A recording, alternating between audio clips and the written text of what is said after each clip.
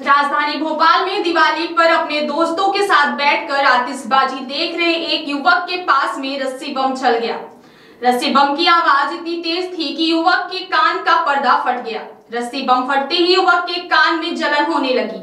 भोपाल के ईश्वर नगर में रहने वाला एक युवक अपने दोस्तों के साथ पटाखे चला रहा था। इसी दौरान उसके एक दोस्त ने सुतली बम उसके नज़दीक रखकर चला दिया। बम की आवाज़ के बाद युवक के कान में सनसनाहट होने लगी। सामान्य घटना मानकर युवक ने अपने कान में सरसों का तेल डाल दिया। इससे तकलीफ़ और ज़्यादा बढ़ गई। इसके बाद वह ENT expert doctor S P Dubey के पास पहुँचा। डॉक्टर दुबे ने बताया कि ये मरीज़ मेरे पास आया और बोला कि मेरे पास में रस्सी बम फट गया। उसके बाद से कानों में सनसनाहट हो रही है। मैंने रात में सरसों का तेल डाला तो बहुत दर्द हो रहा था। जब हॉस्पिटल में हमने एंडोस्कोप डालकर देखा तो कान का पर्दा फट गया था। ईएनटी विशेषज्ञ डॉक्टर एसपी दुबे ने बताया कि जश्न मनाएँ, लेकिन कोशिश करें कि तेज ध्वनि के पटाखे ना फोड़े।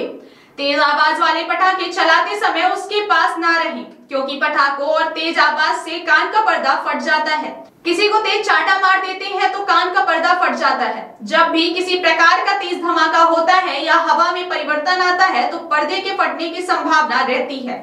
डॉक्टर दुबे का कहना है कि इस समस्या में ये सबसे अच्छी बात है कि जो ट्रॉमेटिक परफॉर्मेंस बहुत अच्छे से हील हो जाते हैं, एक महीने में आमतौर पर ये पर्दे हील हो जाते हैं।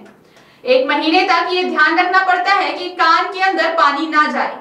यदि कान के अंदर पानी चला गया, तब फिर इसका टेम्पेनोप्लास्टी नाम का ऑपरेशन होता है। एक हफ़्ते तक इसकी देखभाल कर ले और मरीज़ को जुकाम ना हो पाए तो लगभग एक महीने में मरीज़ के कान का फटा पर्दा ठीक हो जाता है।